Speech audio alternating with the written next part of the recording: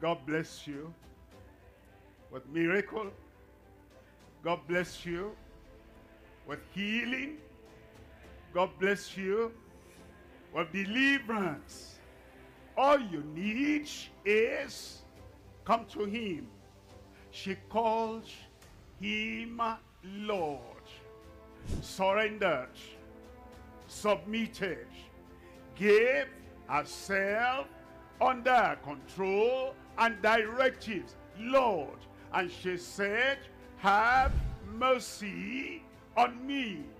No merit, just the mercy of the Lord. And the miracle of mercy is coming to you tonight in Jesus'